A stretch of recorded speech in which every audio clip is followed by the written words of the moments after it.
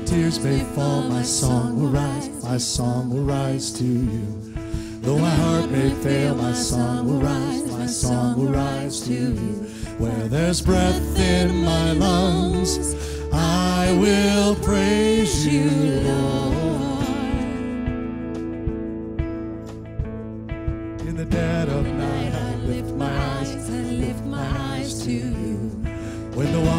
Rise, I lift my eyes, I lift my eyes to you. Now there's hope in this heart. I will praise you, Lord. The joy of the Lord is my strength. The joy of the Lord is my strength. In the darkness I'll dance, in the shadows I'll sing. The joy of the Lord is my strength. When I cannot see you with my eyes, let faith arise to you. When I cannot feel your hand in mine, let faith arise in you. God of mercy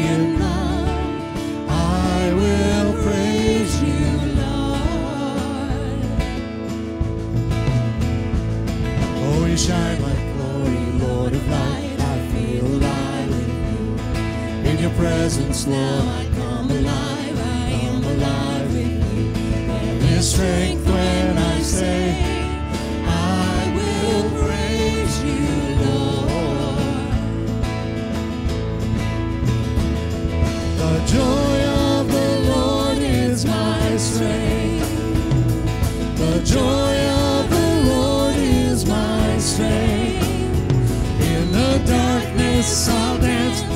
the shadows I'll sing.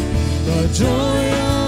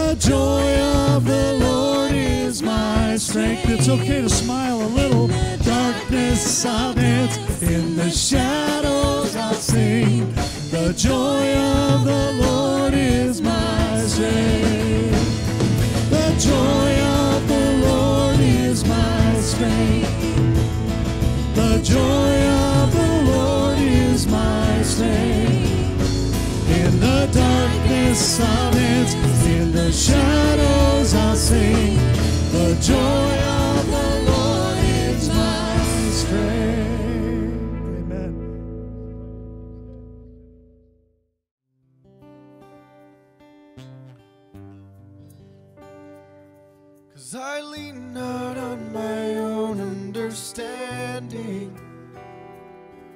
My life is in the hands of the maker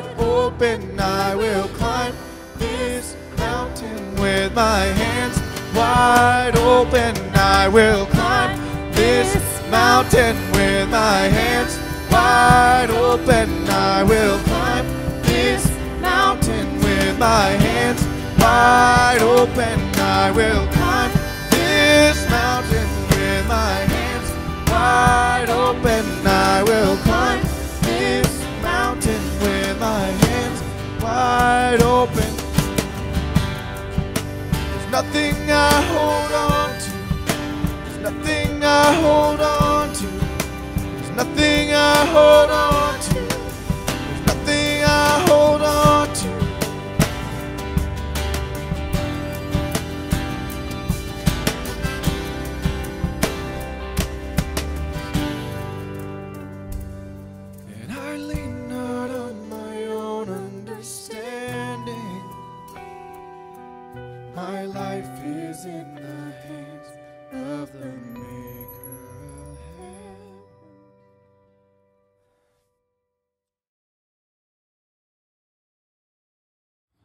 Well, Moses Lake Christian Church, as we continue in our worship, think about our offering time. The address is on the screen there for the online offering. Offering has been part of the Christian church experience since the church was founded in our Lord and Savior Jesus Christ. It's the way that we recognize with the things He's given us the goodness of His giving to us so that we can be a part of what He's doing in kingdom work. Whether it's here at Moses Lake Christian Church or other places where you give your, your time and, and your money. So give with joy, and may the Lord bless you in the giving. I'm standing out here this evening in my backyard. It's uh, just a slight sprinkle of rain. It's enjoyable to hear the sound of, of the raindrops hitting the trees. And I was thinking about what life really is. We see it all around us in, in, uh, in nature, in the things that God has created. But when Christ came and he did all that he did and he showed us who God is in his own flesh, after being raised from the dead and ascending to heaven, Paul wrote these words in Colossians chapter 3. He said, If then you have been raised with Christ, seek the things that are above where Christ is, seated at the right hand of God. Set your mind on the things that are above, not on things that are on the earth, for you have died, and your life is hidden with Christ in God. When Christ, who is your life, appears, then you also will appear with him in glory.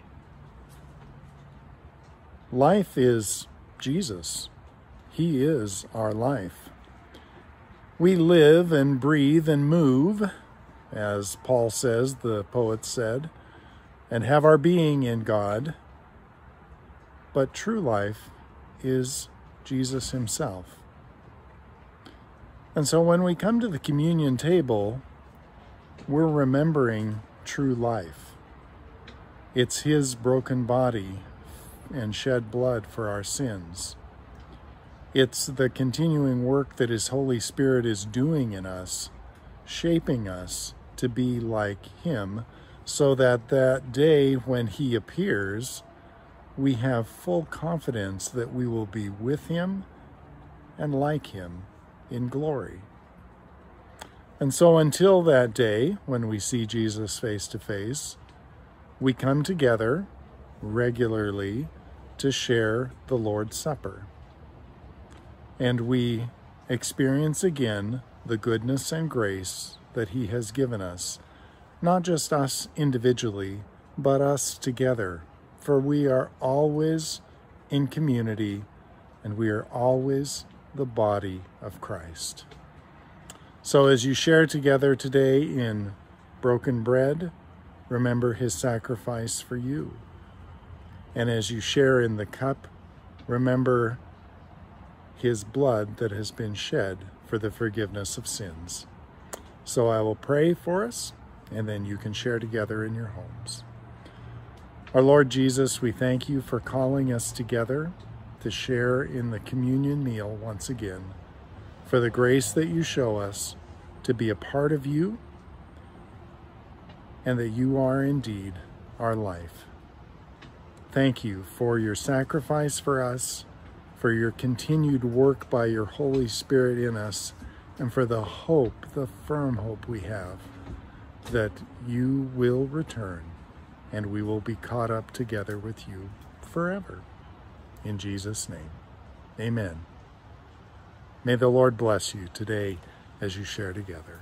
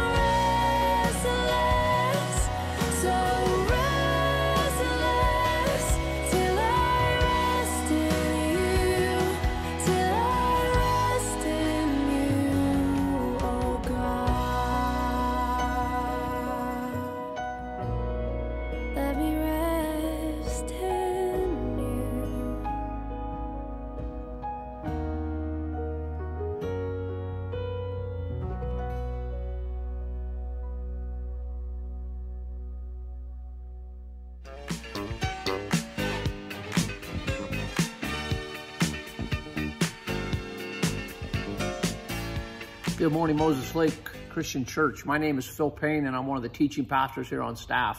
And I'm so excited to be with you this morning as we jump into God's Word and as we continue our series on the family here at MLCC. Uh, we, Pastor John and I have the tremendous privilege over the next couple of weeks to talk about issues and, and, challenges and solutions from God's Word. Things that we need to be thinking about when it comes to our families. There is no doubt at all that we know that family is under attack in our culture and society today. Boy, there's lots of redefining of family. Um, there's lots of negative images of family. We take a look at media. We take a look at, at society in general. And no one would disagree that the family is in trouble. You know, really the family is at the heart of God's message. We go back to Deuteronomy 6 where God says that we are to pass on generationally the truths from God's word and about God in our family. And so when family comes under attack, when family's in trouble, that message, that generational message that we pass on to our children and our grandchildren of God's love, God's faithfulness, our relationship with God is also in trouble. And so we want to take a couple of weeks and we want to talk about how we respond biblically and how we can live out God's truth in our families. You know, there's a, no doubt that there's a lot of outside influence that attacks our family. But for a few minutes this morning, I don't want to talk about outside influences that are really attacking our family. I, I want to talk about inside influences we have on our family. Uh, we, we really can't control society in general for the most part. We live and we breathe in our cities and our towns and our nations, and there's a lot of attack that comes on the outside towards our family but we do have control over our responses and our influences inside the family. We do have the ability to work on our families. We have the ability to take a look at God's word and apply those truths inside our family. Our attitudes, our behaviors, our influence over the family. And so really for a few moments this morning, we're going to take a look at James chapter 4. If you have a Bible, I encourage you to open it to James chapter 4. And we're going to read together there and take a look at some truths about God's Word and our family. The question I really want to ask this morning as we dive into this is, is really how, how do families handle conflict? There is no doubt that there is conflict at times inside our family, maybe more conflict than we want. We can, we can talk about it today of, of how do families, how do we as families handle that conflict? You know, we, we hear a lot about dysfunctional families, but I, I would say that every family is dysfunctional in some way, shape, or form. Really, we can identify things that we're really great at in our family, and there's some areas that we're really struggling at in our families. We bring our own life, our own background, our own baggage as we step into marriage and as we start our families. We've come from a family and now we're inside a family and we bring that history with us. And sometimes we bring the great things about our families and sometimes we bring the troubling things that we, the families that we grew up in. You know, I think about my family growing up. I, I, am one of, of three children. I'm right in the middle. I have an older sister and a younger brother. And I remember my, my older sister when she started dating a, a, young man that my dad didn't know really well. And, and really initially he didn't like him at all, if truth be told. And there was so much conflict in our family between my sister and my dad, and it led to us as siblings and my mom. And, and sometimes teenage years bring out a lot of that conflict. But it's not just teenage years, it's even sometimes in our marriages, right?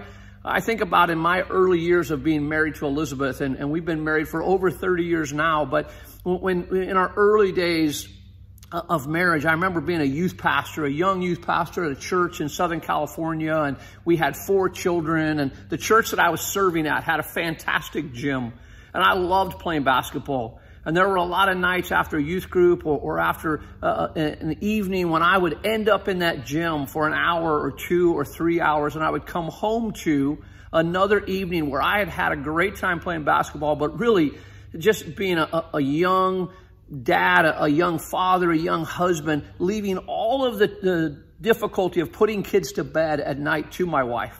And, you know, she, she was amazing. She was a saint. But there were times where she called me out on that and said, you know, you're playing basketball and I'm trying to put kids to bed and, and I need you to be more attentive. And that led to tremendous conflict between the two of us. Really, it was selfishness on my part if I look back on that. I wanted to do what I wanted to do, right? That, that mixture of expectations.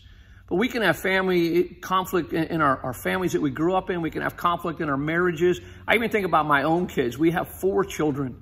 And I remember the, the issue as they got older and the, the idea of curfew, How long could our kids be out? When did they need to be home?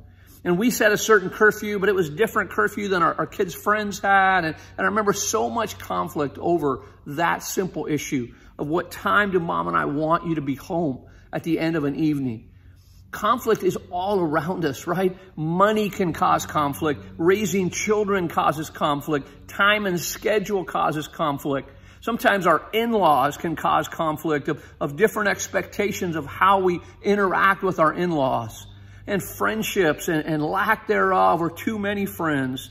Maybe, maybe one part of a, a spouse is an extrovert, the other one's an introvert. Well, we have expectations and personalities so many ways that impact us and challenge us when it comes to conflict. Well, the question that we also want to ask is, is what's our response to conflict? I think for some of us, you know, we, we just want to avoid conflict at all costs. We're kind of like that turtle that when conflict comes, we pull in our head, we pull in our arms and our legs, and, and we just hope that we can hover underneath that shell and hope the conflict goes away. Uh, other people, their personality is they rush into conflict right? They, they rarely see an opportunity that they don't take where conflict happens and they, they blow up. Maybe they explode. Maybe they want to dominate conflict. Maybe sometimes within conflict, we have a tendency to withdraw, right? That's a little bit of, of the house I grew up in. And, and maybe even if I'm honest, some of the style that I have, or, or my early years of conflict of exploding and then withdrawing. You know, conflict is not necessarily a negative thing. Some of us think that conflict should be avoided at all costs. But, but I think conflict is one of those things that, that we really can learn from. I love this quote from Ken Sande. Ken Sande wrote a great book on peacemaking. He said this, many believers in their churches have not yet developed the ability to respond to conflict in a biblically faithful manner. You see that word? Respond to conflict, not avoid conflict. When Christians become peacemakers, they can turn conflict into an opportunity to strengthen relationships and make their lives a testimony to the love and power of Jesus Christ. Conflict does not have to be a negative thing. It can be an opportunity to grow. You know, something really important for us as parents with families is we need to teach our children how to disagree in a positive way. Now, I'm not talking about when they're really young. I know that when kids are really young, we, we want our kids to have first time obedience and we want them to not disagree, not talk back. But as our kids grow and they reach a mature stage where they can interact, it's really important that a child learns that he or she can disagree with people and not lose their love and their friendship and their respect. When that happens, a child's fear of abandonment dissolves and they learn to stand up even against peer pressure you see, one of the challenges for us as parents and grandparents is are we teaching our children and our grandchildren how to respectfully handle conflict and even disagreement? Sometimes our inclination as parents is to silence a child who disagrees or argues, but that's a mistake. Words, even those that are hard to hear, sometimes they're the best tools to help us understand and appropriately respond.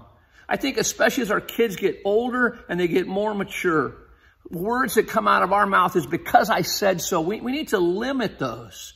We need to learn how to have positive conflict in our homes and even help our children have positive conflict so that as they leave our house, they have those tools and those responses.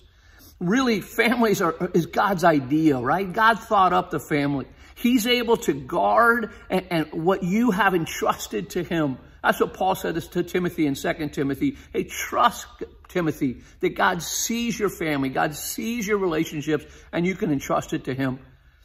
He has a plan and a purpose for your family. He wants to continue to instruct you and teach you and use you and your family. We need to continue to pray, to hope, and to love. You know, Romans 12 says this, if possible, as far as it depends on you, be at peace with all men. And that includes our family right? Sometimes we see our families and they're just a hotbed of conflict, lots of conflict happening. We need to stop and we need to say, how can we learn to positively handle conflict, to positively instruct our children and ourselves on the right way to handle conflict? And so as we keep going this morning, the question that I want to pose is, what do we do with conflict? Right? We know it's there. We know it happens. I think the first thing that we need to understand is we need to understand where it comes from. In James chapter 4, verse 1, I hope you have your Bible and I hope you can read it with me. James chapter 4 and verse 1 and 2 says this, What causes fights and quarrels among you? Don't they come from your desires that battle within? You desire, but you do not have, so you kill, you covet, you cannot get what you want, so you quarrel and you fight. Do you see what James is saying? James is saying this is really, really, really, really important. We need to teach ourselves and we need to teach our children that conflict is an internal problem. It's not an external problem. It's so easy when conflict comes for us to argue and to blame and to look outside and say it's, well, it's their fault. It's his fault. It's her fault. It's their fault. When really what James says is conflict comes from inside us. It comes from internal desires. You see, here's a truth in life that I need to learn and my children need to learn and my grandchildren need to learn is that I am responsible for conflict. Nobody can make me do anything. Now, for sure, people can come and they can trigger me. People can interact with me. My siblings can interact with me. And there can be challenging moments, but I am responsible. I'm always responsible for how I respond. And if you trigger me and, and, I explode and we have conflict, I need to stop and realize that conflict is coming from the desires inside of me. It, it's coming sometimes from a clash of expectations, a clash of desires. Desires that are inside you and desires that are inside me. Sometimes those desires are, are physical and emotional. Here's another simple principle, and my goal today would be to give you two simple tools as we talk about conflict from a biblical perspective. Here's the first one. Something that I try to practice and something that I've challenged my children to practice, and it's just a simple principle of halt. Maybe you've heard this before, maybe you haven't. But the reality is that the conflict comes from desires that are inside you, inside me. Sometimes those desires are physical and emotional. And when I'm experiencing conflict or feeling like I'm about to experience conflict, I would challenge you, I challenge myself to halt, to ask this simple question about desires. Right now in this moment, am I hungry? Am I angry? Am I lonely? Am I tired? Remember, we're responsible for our responses, right? And I don't know about you, but when I'm hungry, and I, haven't eaten or I haven't eaten great, or maybe I've just had some sugar or, or I've gone a while, I skipped lunch, and I find myself in a conflict. And when I really boil down to what's going on inside me, I'm just irritated because I'm hungry. And it's amazing what happens if we just stop and say, you know what? I, truth is physically right now, I'm just not doing great. I'm hungry and I need to eat. You know, maybe I'm angry. Maybe something's happened. I, I got cut off in traffic or, or something happened at work. Maybe, maybe I'm, I'm frustrated about, uh, you know, my finances or something happening and I'm angry outside of this moment and I bring that anger into my conflict.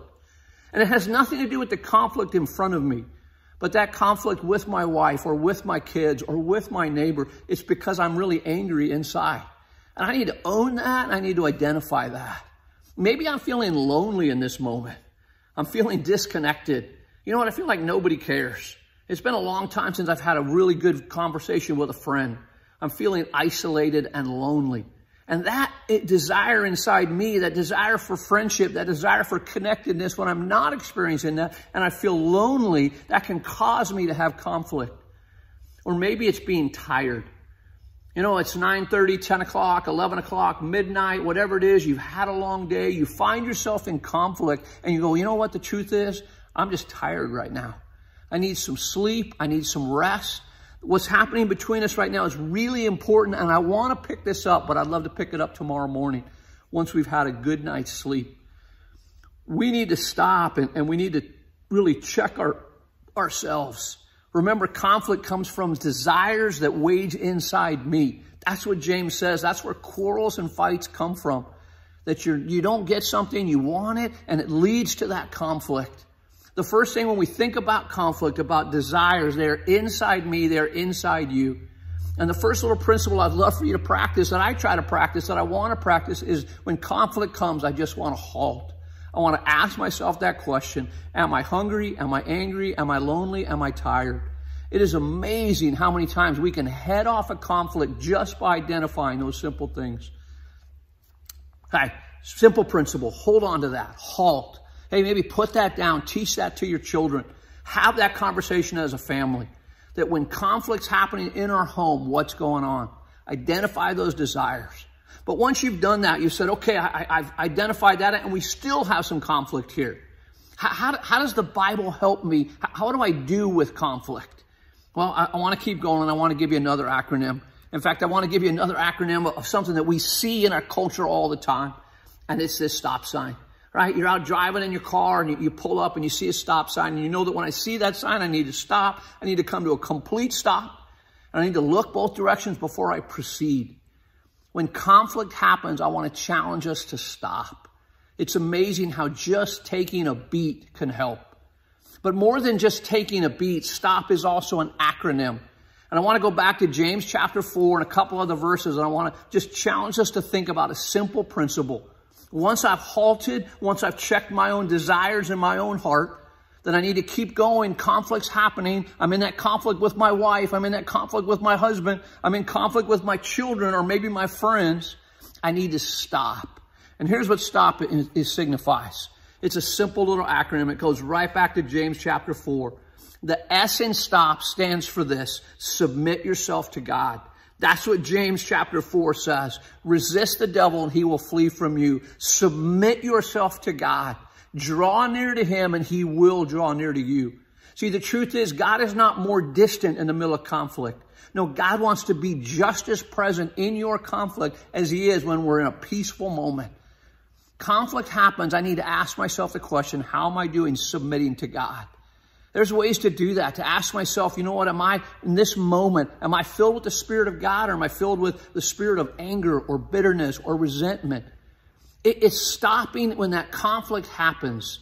And maybe it's not a prayer out loud. Maybe it's just a breath prayer, but it's just simple to say, God, I need your help right now in the middle of this conflict.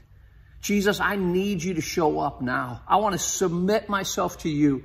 I want to pray like David prayed in Psalm 51, Lord, search me and know my heart. Show me any wicked way that's happening. Sometimes we can head off conflict just by submitting ourselves to God and saying, God, I need your help right now. I need the peace that passes all understanding. I need some patience. I need the fruit of the Spirit to show up in my life right now. And so the first part of stop is submit yourself to God. To even ask the question, what is really going on right now? what is really happening right here. God, I need your wisdom. You know, this is also an ongoing basis, right? We talked about that, that we have triggers. Conflict comes and, and sometimes I'm triggered from the inside. Nobody can make me angry. Nobody can make me upset. They can reveal me. They can certainly, just like a cup, you spill a cup and what comes out of the cup is what's inside the cup.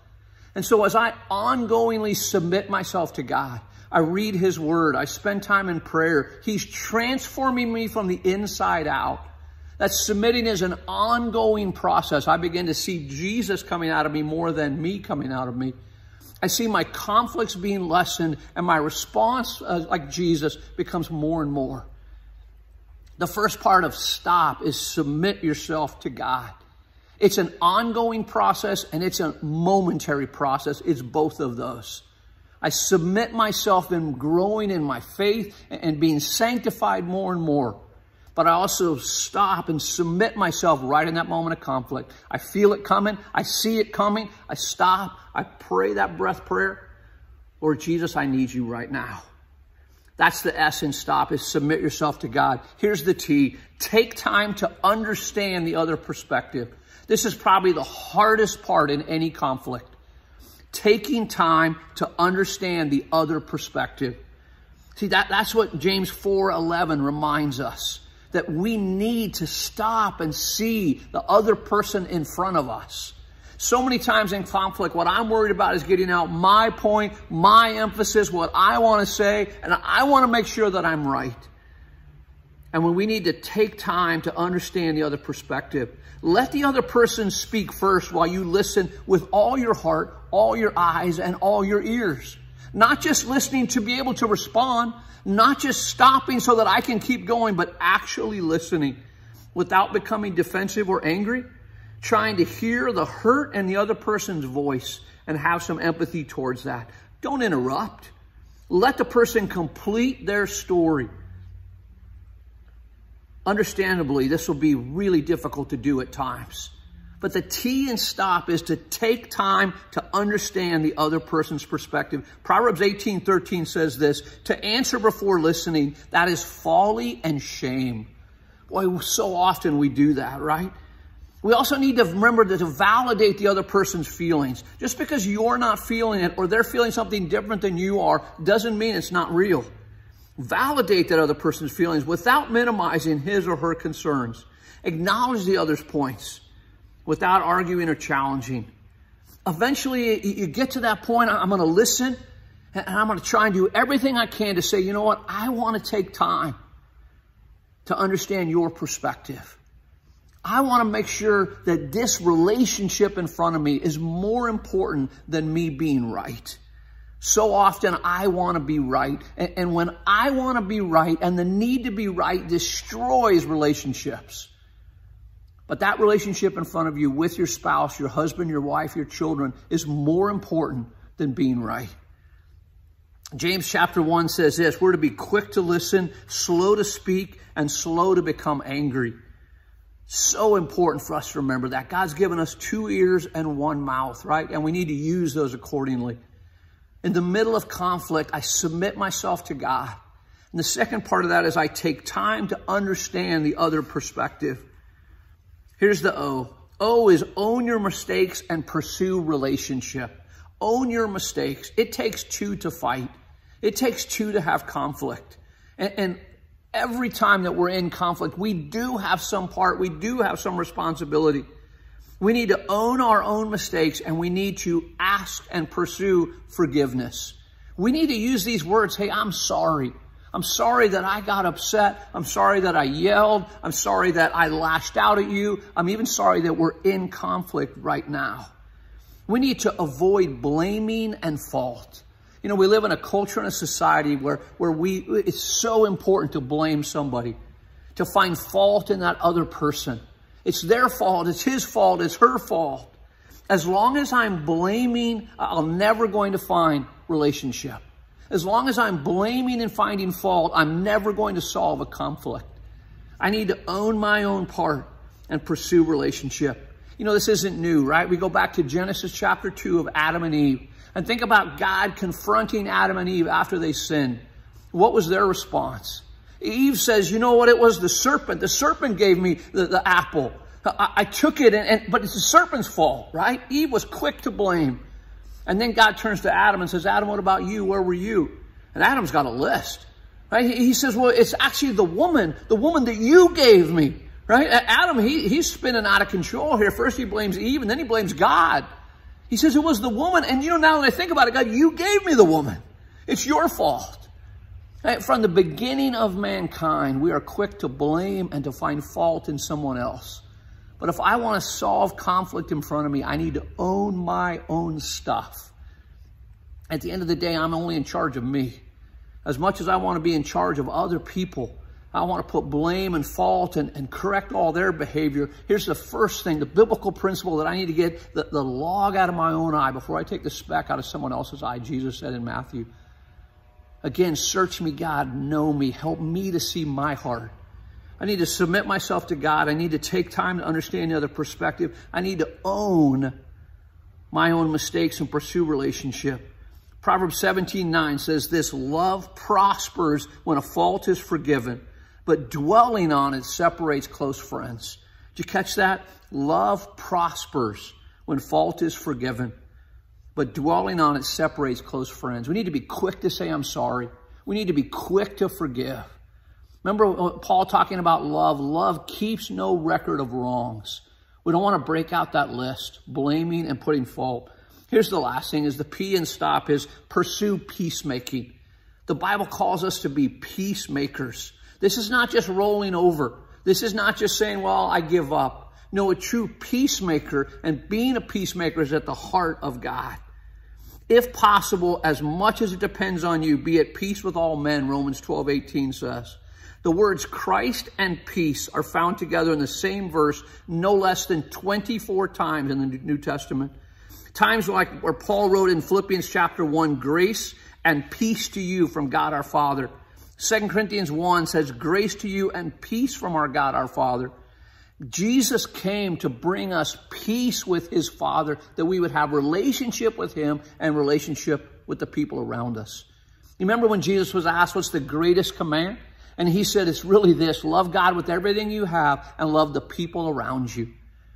The idea of conflict, I know that there's a lot of conflict in our culture and society today, but we don't have to let the world squeeze us into its mold. Jesus came that we would have life and have it abundantly, that we would be transformed by the renewing of our minds, that we would be more like Jesus and less like the world. And that's true in our families. And so today I would challenge you eh, just to take these two simple little principles to realize that, that conflict comes from inside me. And so I gotta, I gotta check myself, my physical, my emotional. I need to halt at times. Ask myself, am I hungry? Am I angry? Am I lonely? Am I tired? Take care of that. And then beyond that, as I step into conflict, to stop, to take a beat, to submit myself, to take time to understand the other person's perspective, to own my own mistakes, to be quick to forgive, quick to apologize, and then to pursue peacemaking. Do everything I can to be at peace. God bless you. Have a fantastic week.